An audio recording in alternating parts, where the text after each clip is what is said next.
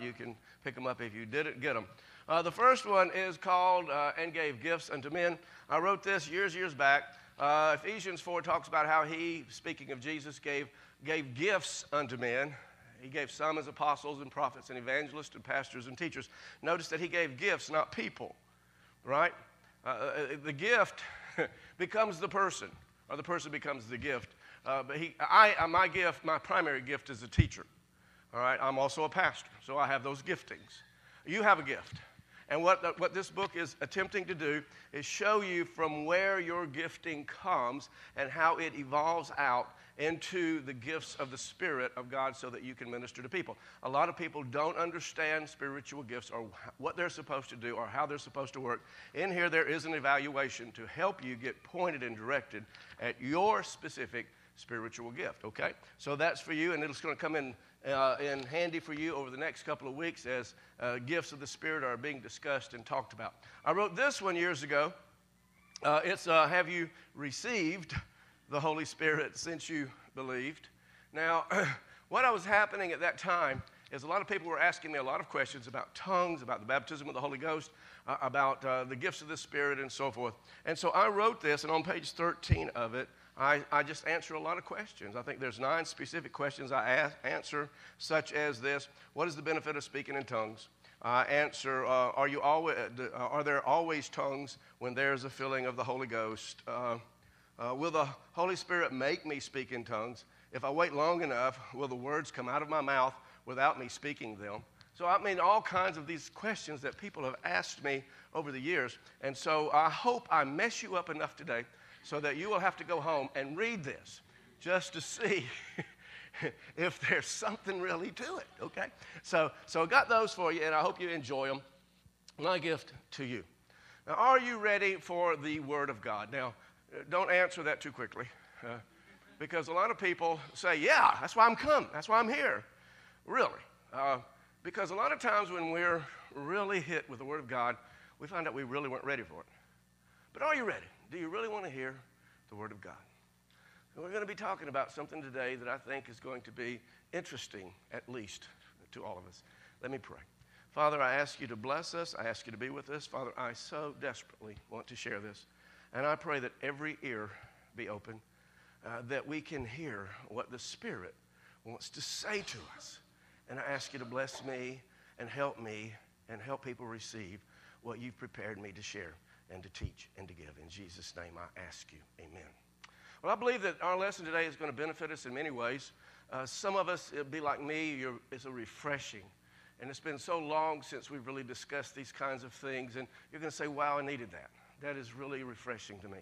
Others of, of you, it's going to be very informative in that, in that you've, uh, you know, you, you've never heard me talk about the topic I'm going to be talking about. You don't really know how I feel or what Lifegate Church believes concerning this specific topic. And for others of you, you're going to really, uh, you're going to be challenged because we get so embedded in our beliefs and our theologies and so forth that we sometimes we get so rooted into, uh, into a, a belief that it's difficult to move us. So you're going to be challenged to, to investigate this even further and, and see if it be true. Because what I'm going to be talking to us today about is tongues. Tongues. Um, very interesting thing because I know that many of you come from a background in church uh, that you've never gone through uh, the scripture, scripture by scripture by scripture, like we do here at Lifegate, to really look at it. You've been told that it's out of date, you've been told that it's not for today. Uh, and so we're going to, I want to help you. I really do. I want you to see biblically about tongues. Right? So, um, I feel like that Christians forget the importance of the Holy Spirit. We know He's here, but we really don't know exactly why He's here. We understand something about the Father, we understand something about the Son, but what about the Holy Spirit? What's His job? How does that work out in, in, in my life? How does this roll out for me? Tongues. Because it's interesting because when you, when you study the scriptures, and specifically the book of Acts, and it's really the acts of the Holy Spirit, And some people want to say it's the Acts of the Apostles, but there are a whole lot more things going on in the book of Acts than with the apostles. There's Stephen, there's the 12, that are the, there's 120 in the upper room, and all of these people spoke in tongues. So it's more than just it's more than just the acts of the apostles. It's the acts of the Holy Spirit through people like you and me. So when you find these people in the scriptures, you always find them receiving the Holy Spirit and speaking in tongues. So I want you to, to open up. I just want you to listen. Don't build up any walls. Let's just work together. Let's reason together, saith the Lord. And let's see what, what God has to say to us today. So, something I want to say is, is that in the Bible, in the Bible, speaking in tongues is as common as the sinner's prayer is today. In fact, it's far more biblical. You, you won't find a sinner's prayer in the Bible. D- did you know that? You can, you can look, look at all you want to. There is no place in there where Jesus or Peter, James, John, or Apostle Paul, anybody said, Pray this after me. It's not there. But tongues is all over the place. So, Let's take a look at it. The Apostle Paul is on a missionary journey, and the Apostle Paul wrote um, the majority of the New Testament. He and Luke together put together just about all of it. but, but, but the Apostle Paul, he, he's a, an apostle, and he's written a lot of the scriptures. So he's on an evangelism trip, and he's going through Gentile lands. Now, he's, they've, they've left the area of Jerusalem and Judea, and they're going through the Gentile areas, and he comes to Ephesus, an epicenter, a big city in that day, and there he finds some believers, Gentiles. And I want to read this to you. So let's read together in Acts chapter 19, verses 1 and 2 to start with. We're going to be reading all the way through verse 6. Picking up at about the middle of that first verse, it says, Paul took the road through the interior and arrived at Ephesus. There he found some what? Now, this is important that you respond to me and you pay attention. He found some what? Disciples, believers, right? People like you, like me, disciples. And he asked them, now he's going to ask them a question. Something's, why would you ask this? But he's going to ask them this question. He said, now, now get it. Did you receive the Holy Spirit when you believed? Ponder that. Why would you ask that? That's an incompetent question. Well, of course I did. Right? Sure, sure I did. I, I believe so. I get it. It's a package, right? You get the whole thing. No, that's the wrong answer. I want you to see the right answer. Here's the right answer. They answered what? No. we didn't even know about this. We, we have not even heard uh, that there is a Holy Spirit. And I find that so true today. I find that disciples, that believers, that people that have, that have, that have known and believed for years and years and years just don't know about the Holy Spirit. And the truth of the matter is that probably 99% of us did not receive the Holy Spirit when we believed. I was uh, 17 years old when I believed. I was uh, a student in school. I became a leader of a life group, of a, of a youth group, uh, served the Lord for several years until I got married. and then we got married, started a family, and I got away from God. I was away from God for 11 years. Came back when I was 28 years old. Really gave my heart to God. And even after that, it was maybe a month after that that I received biblically. Now I'm talking biblically, not talking man made doctrines, biblically received the Holy Spirit. Most of you are the same way. If, even if you're a tongue talking uh, holy roller, you, you know, you probably didn't receive the Holy Spirit when you believed. And what I'm wanting us to see here in this specific passage is this is that believing, initial belief, initial salvation, and receiving the Holy Spirit is totally different experiences. Just like believing and water baptism is a totally different experience. I want to show you. And this is what we're seeing here. Did you, see, did you believe something? Did you receive something when you, when you believe something? And it's totally different experiences that, that are happening here. So let's read on in the same passage, the very next verse, in verse 3. Uh, Paul says this. So Paul asked, now he's going to ask another question that seems idiotic. Then, what baptism did you receive? water baptism. What? What's the question? What, what, water baptism. So Paul's p- picking up something that's just not, not working right here. If you believed wrong, if you didn't receive correctly, then let me check out a little further. How about your water baptism? What were you baptized? What, what, what, what kind of water baptism did you have? Uh, so, uh, John's baptism, they replied. Paul said, John's baptism was a baptism of repentance. He told the people to believe in the one coming after him, that is, in Jesus. Watch. On hearing this, they were baptized into, not in, but into what? The name of the Father and the Son and the Holy Spirit. Is that what it says? What does it say? Tell me what it says. In the name of the Lord Jesus. He did not baptize them in the name of the Father and the Son and the Holy Spirit. He baptized them in the name of the Lord Jesus. Now, this is not a baptism, water baptism course. What I'm wanting you to see is, is that we have different experiences happening here. But, but in water baptism, when Jesus, in Matthew chapter 28, verse 19, he's at ascension. He's about to ascend, and he's, he's about to be taken up. And he says this to his guys. He says, I want you to go into all the world. I want you to preach the gospel of the kingdom of God. I want you to make disciples, and I want you to baptize them, teaching them, baptizing them in the name of the Father and the Son and the Holy Spirit. But as you study this out and you get into the book of Acts and you see how they baptized and what they did in baptism, nobody's ever baptized in the name of the Father and the Son and the Holy Spirit. Not one person. Challenge you to look, see. So what's up with that? Here it is. Because the name of the Father and the Son and the Holy Spirit is Jesus, the Lord Jesus. He is the fullness of the Godhead bodily. He is the centrality of God. If you've seen Him, you've seen God. So he fixes their baptism, and then he does something else. He baptized them again. And people have problems with getting rebaptized. I'm thinking, what? This biblical. Come on. Let's get it right. Just do it until we get it right. So, so uh, he does more than this now. Watch, watch what's happening here. So he, he gets them, he corrects their baptism. Uh, on hearing this, he baptized them in the name of the, of the Lord Jesus. And then it says, when Paul placed his hands on them, the Holy Spirit, a total different experience now from water baptism and from initial salvation, the Holy Spirit came on them, and they what? They what? They spoke with tongues and prophesied. They spoke with tongues, and the gifts started happening. now, have you ever been asked, Did you receive the Holy Spirit when you believed? That's not something we ask today, is it? Should we? Come on, should we? Yeah. Do we talk about, well, what were you baptized in?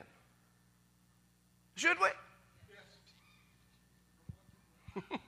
so, uh, what, what, I'm, what I'm wanting you to see is there are three separate experiences here believing, receiving of the Holy Spirit, speaking tongues, and water baptism. Receiving the Holy Spirit is just as separate as an, as an experience as receiving Jesus Christ as your Lord and Savior and believing, and receiving water baptism. I want us to understand this in, in the scriptures, you see, because, because most churches today don't teach tongues. They, they say that it's outdated, that that's something that died with the apostles. I guess the Holy Spirit died with the apostles. I, I don't know what they think because it's not biblical. They say that, that it, that ended, that tongues has ceased. And I want to show you as we work through the scriptures today, that's just not accurate at all. Paul says, forbid not to speak in tongues. Don't stop tongues. And, and, and wanting us to understand this, you know, that, that, that it's a, it, either the Bible is true or it's not. I don't care what people say. What does the Bible say? If, is it true or is it not true? Because if it's true and if it's God's word and I'm supposed to adapt to it and live by it, then I have got to deal with speaking in tongues. If I refuse to deal with speaking in tongues, I am at the very least restraining the Holy Spirit. I am constraining him, limiting him to what he wants to do in my life, in my family's life, and the people that I have uh, influence upon. So, why tongues? what's the importance of tongues? I mean, of all the things that God could have used to uh, show the coming of the Holy Spirit upon a person's life or the coming of the Holy Spirit into the world, why did he use tongues? And so I want to talk about it. I want, to, I want us to look at the importance of tongues. I want to give you four specifics of the importance of tongues. Why tongues? You know, it's like the, the, title that I've given you is, is Come Holy Spirit, but why tongues? Isn't that kind of what we all think? You know, we want the Holy Spirit, but I don't want those tongues. Well, it doesn't work that way. so I want us to look at this and I want us to see, in the very first reason that tongues are important in my life and in your life is because it's a sign. It's a sign that you're a believer. Now let's look at this. In the book of Mark, chapter 17, it says, and these what? These signs. What's a sign? These signs will accompany, the King James Version says follow. These signs will accompany those who what? Who believe. Now, what does that mean? If I'm a believer, then these things are going to go with me. They're going to accompany me. They're going to follow me. Wherever I go, these things go, right? They're accompanying me. In my name, here's the first thing, here's the first sign. In my name, they will drive out demons. I'm supposed to drive out demons if I'm a believer. How many demons have you driven out? Second one, they will speak in new tongues. That's the second thing. That's a sign. They're supposed to follow me if I'm a believer. Now, it, says these signs, it, it's a sign, it's not proof, and I want to talk about that more in just a second. I don't, so I'll, I'll fix that in, in, just a second to make sure you're clear on what I'm saying. But this passage right here, if you were to read it, and I wish I had added it in to the notes, but it goes on to say, And you shall lay hands on the sick, and they shall recover. That's a sign. Are you praying for people to be healed? Because that goes with you if you're a believer. It also says you can take up serpents. You picked up any snakes lately? You probably have, just didn't realize it was a snake. But, but, uh, but uh, you can take up serpents, and you can drink any deadly thing, and it will not harm you. What's all that about? That sounds so weird.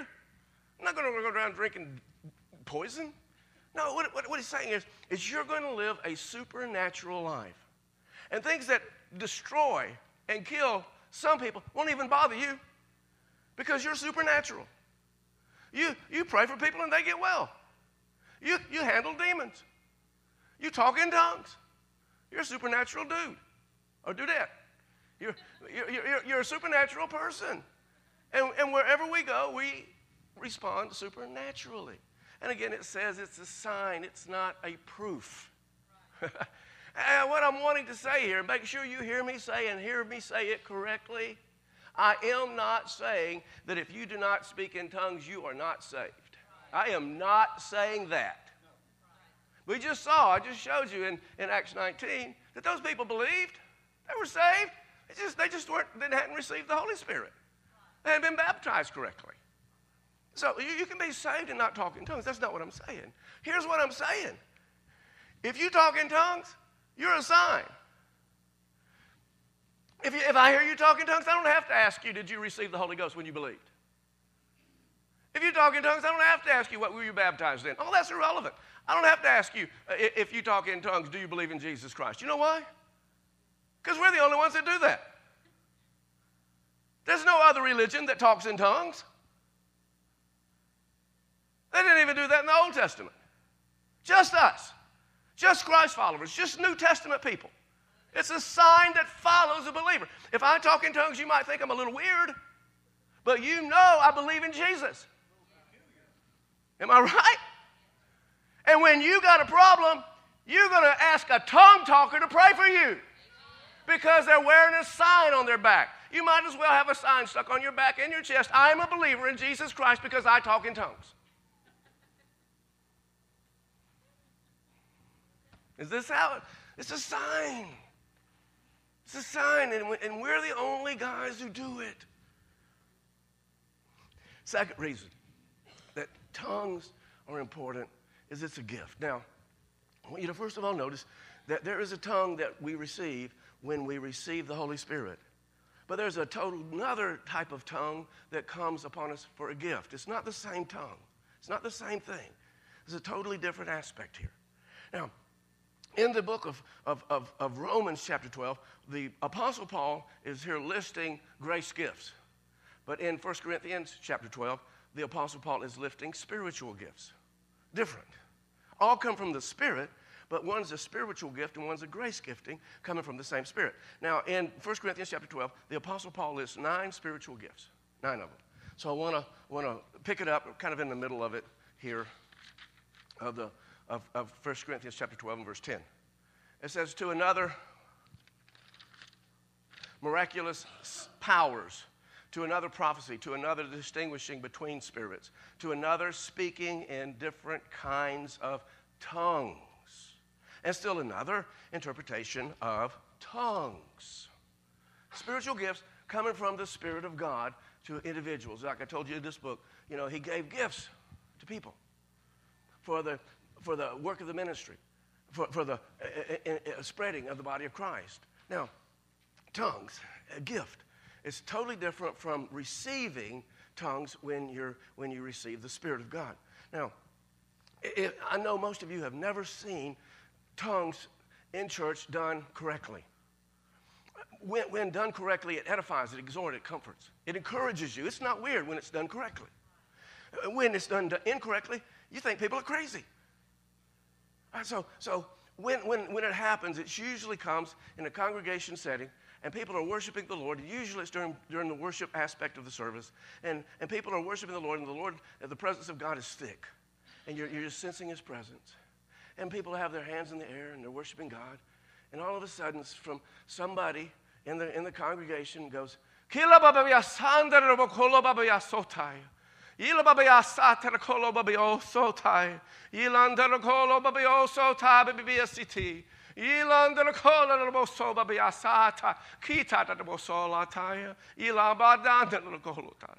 Ila baba yo sotaya. Ikondara bo si. And dead silence falls over the whole congregation, just like right now.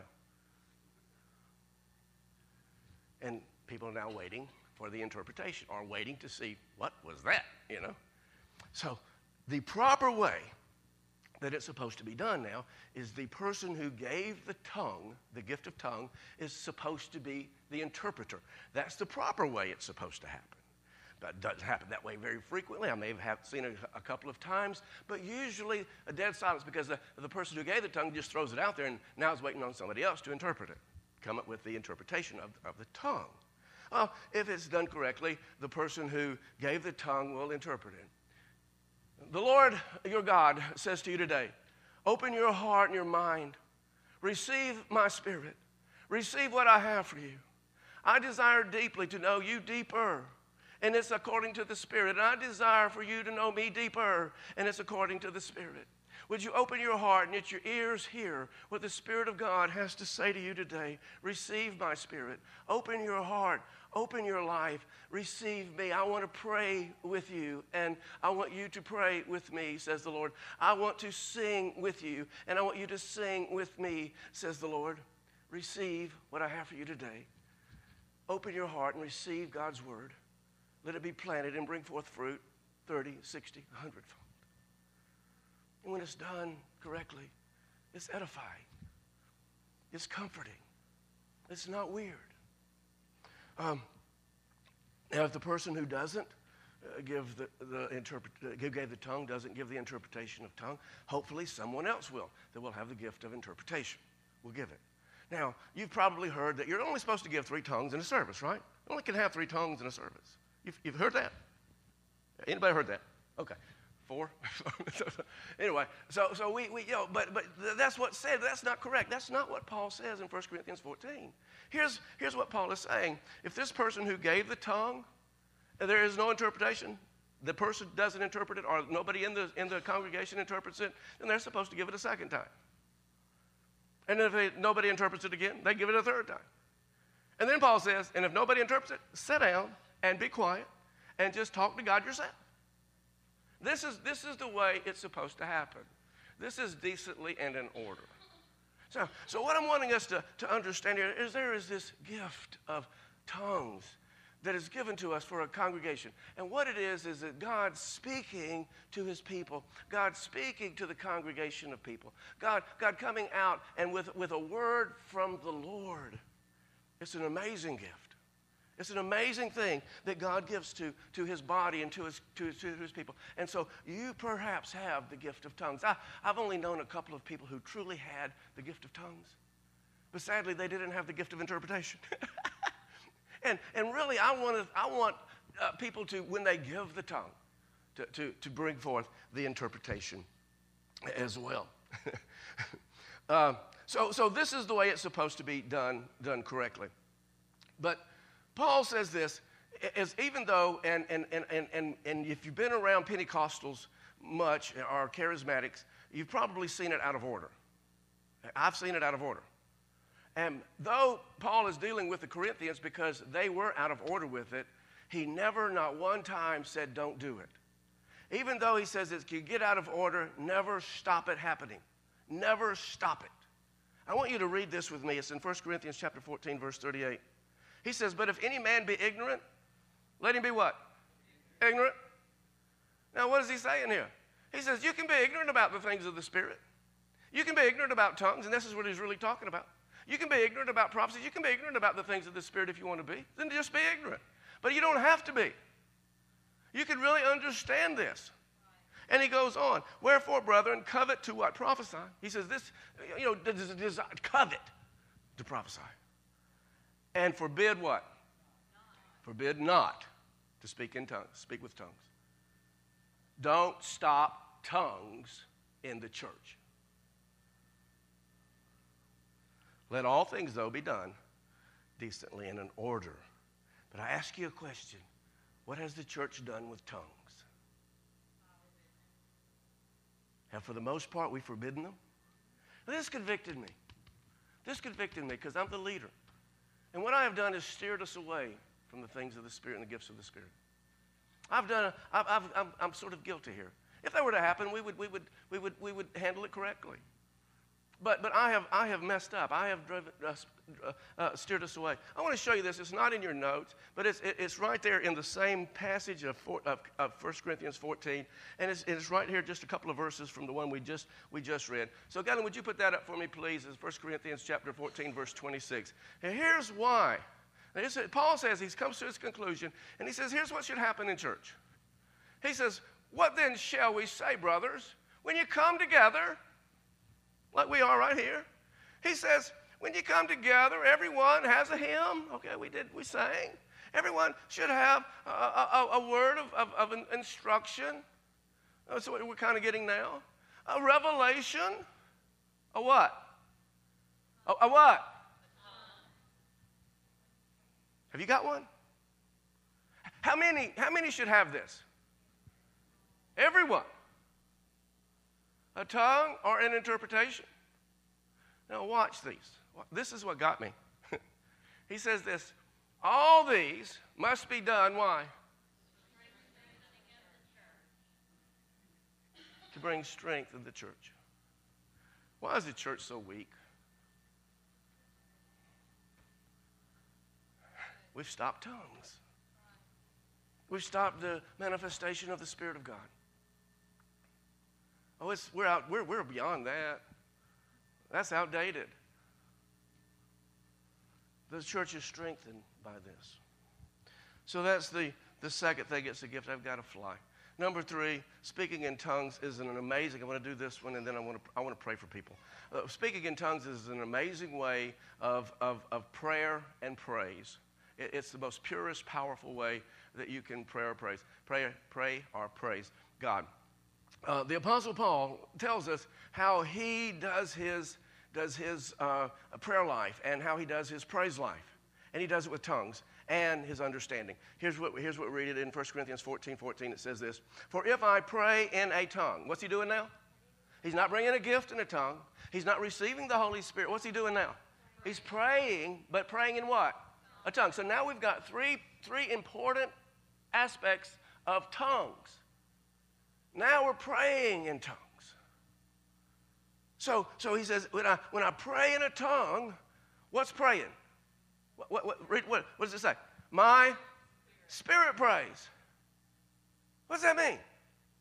My spirit prays, but my mind is unfruitful. What, what's, what's he saying? Listen, the purpose of your mind is to reason. Tongues do not reason to your mind. And therein is the problem. We can't get past our minds with tongues. We can't make that make sense. Paul says, I understand that. And so what I have to do is kick my mind out of gear. I have to bypass my mind to get into my spirit. So I can pray in my spirit. I got to get my mind out of the way. And he says, it's, it's, my mind's unfruitful, it's out of gear. It's, it's, uh, I'm bypassing it so I can pray in the Spirit. And when I pray in the Spirit, I am praying the purest prayer I can pray. I don't know what I'm praying, and that's a good thing because I'm praying in the Spirit. He goes on, uh, uh, but my mind is, is, is unfruitful. So what shall I do? I got it. I will pray with my spirit, but I will pray like everybody else also. I will, I will, I will also pray with, with, with my mind. I'll pray in what I understand, but I know there's some things I don't understand. So I'm going to pray in my spirit. Now he says it's unfruitful. I want to make sure I make a point here. Paul didn't know what he was saying.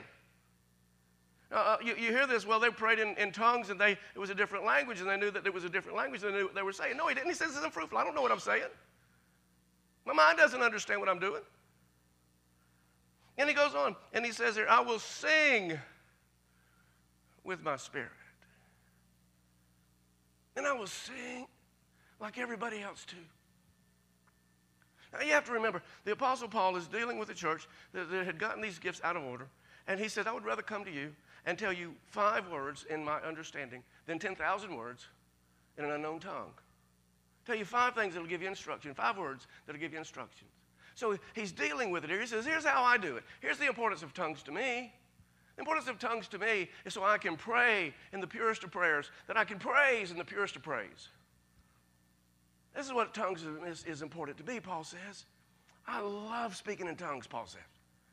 I love to pray. I, I, I, I, get to pray. I get to praise. I, I, love to, to, to speak in tongues.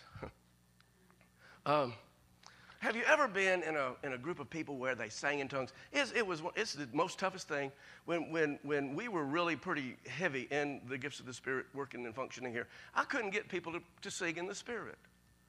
It was the, most difficult thing. Uh, but I've been to conferences where it was a Pentecostal type conference or a charismatic type conference where most of the people there spoke in tongues and they would sing in the Spirit. I'm telling you, it, it's like being in heaven. It's like hearing angels sing. I mean, what do you think it's going to be like anyway when we get to heaven? All these different people are singing in all their different kinds of languages, all these multitudes and multitudes and, and, and millions and millions of people all singing to God.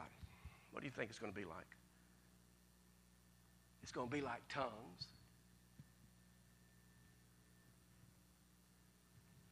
He says, I want to sing in my spirit. I want to sing in my understanding. See, people have different responses to, to the things of God. People have different responses to, to the gifts of the Spirit and the things of God. And most of the time, it's because of, of how they've been trained and how their instructor did it. And so they'll respond. And so weird things do happen in church with the gifts of the Spirit. And so I'm constantly, when the gifts of the Spirit begin to move and things kind of do, and they will, they go kind of crazy sometimes, I always start checking it out You know what's happening here, what's going on. I have to check its authenticity and see if it's really weird or not. And, and, I, and I'll know, I always know, because I just know something in my, in my heart isn't right, in my spirit isn't right. And so I'll adjust it. But the main thing is, is that even though things do kind of go crazy, Paul says, don't ever stop it and be thankful for it. Here's what Paul, the apostle, said in 1 Corinthians 14 18. I thank my God. Why? Why is he thanking his God? Tell, tell me what he says. Why is he thanking his God? Because I think I speak with tongues more than you all. Y'all, y'all, I speak with tongues more than you all. I thank God that I'm a sign. I thank God that, that when I speak in tongues, I know I'm saved. I speak in, when I speak in tongues, I'm a sign not only to others, but I'm a sign to myself that I am saved of God. I, I thank God that I have a gift of tongues so that when God can use me to speak to a congregation through tongues, I thank my God that, I, that I, I, can, I can, you be used by God to interpret tongues in church. I thank my God for that. I thank my God that I have this prayer ability, this prayer life. I have this ability to pray and praise God in the purest of sense. I thank my God for that.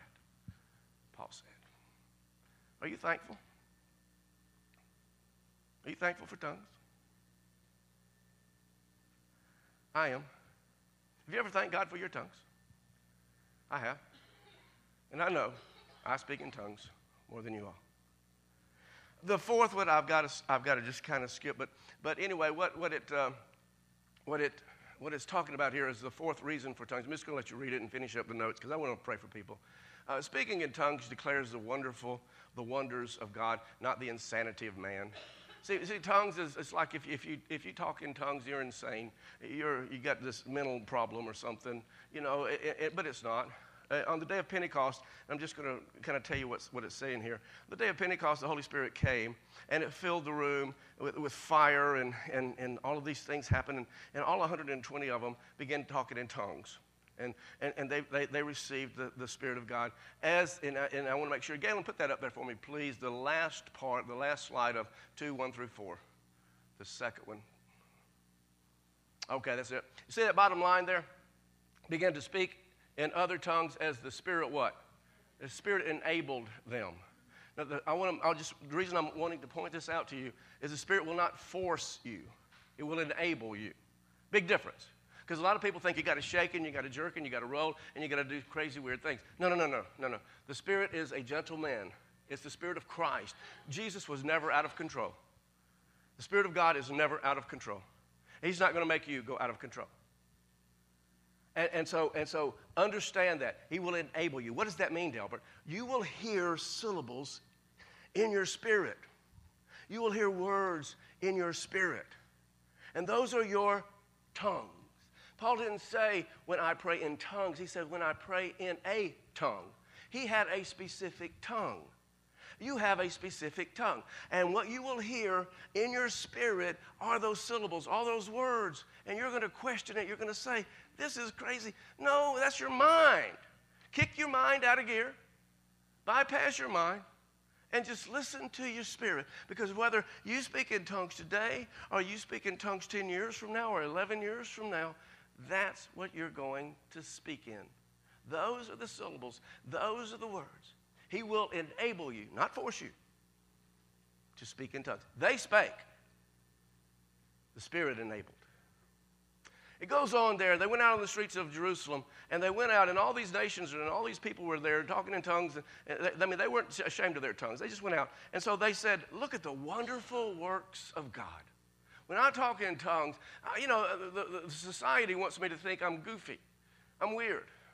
God thinks I'm declaring his wonderful works, wonderful works of God. And I edify myself, I build myself up. I, I, don't, you know, I know some of you are, are, are tongues, and, and if you've ever spoken in tongues for a period of time, it's impossible to be down. You, you cannot stay down. You, you build yourself up. You can't be depressed speaking in tongues. When you're talking about the wonderful works of God, you can't be depressed. You build yourself up in these things. I'm telling you, it's God's given us tongues. Number one is a sign. You're a sign. Wherever you go, these things follow you. Number two, he's given it as a gift. It's a gift from the Holy Spirit so that you can be used to speak to the congregation of people in a prophetic way from God, from the Holy Spirit himself.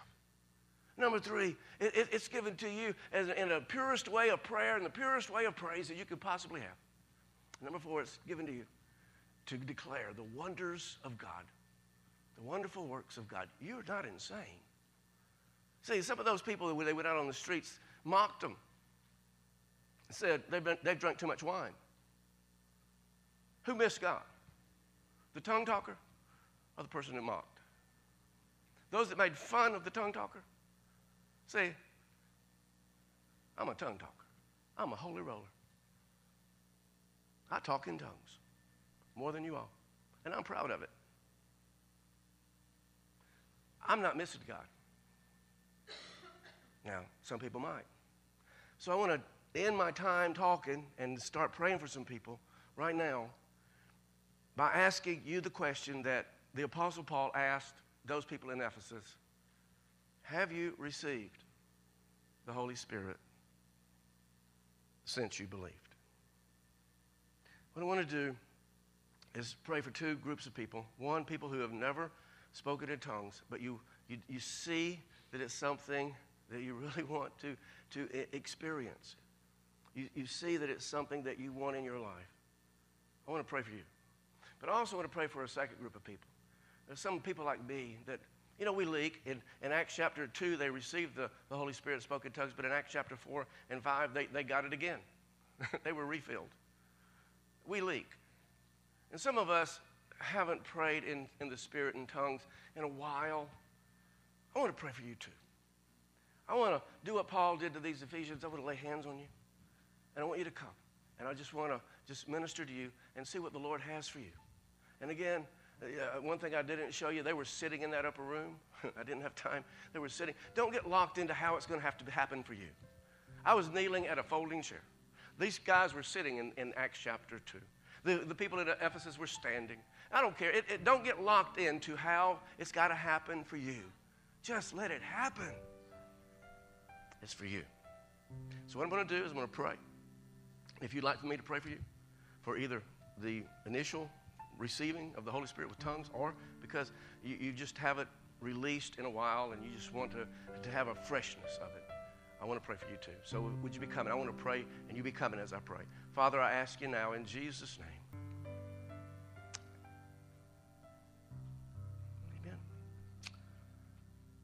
What I want to tell you is my wife struggled. She was hearing the words in her mind, or in her spirit actually, but she thought she was mimicking someone else. And so it took her weeks to get work through that. What you're